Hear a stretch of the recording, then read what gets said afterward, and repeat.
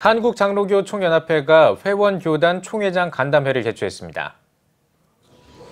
예장 합동 김종준 총회장의 사회로 진행한 예배에서 예장 통합 김태영 총회장은 설교를 통해 교회가 사회의 조롱거리가 되지 않도록 양심을 따라 하나님께 충성해야 한다고 권면했습니다.